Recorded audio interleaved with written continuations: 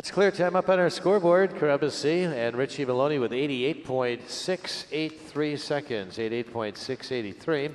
And it currently ranks in the eighth place in our open jumper standings.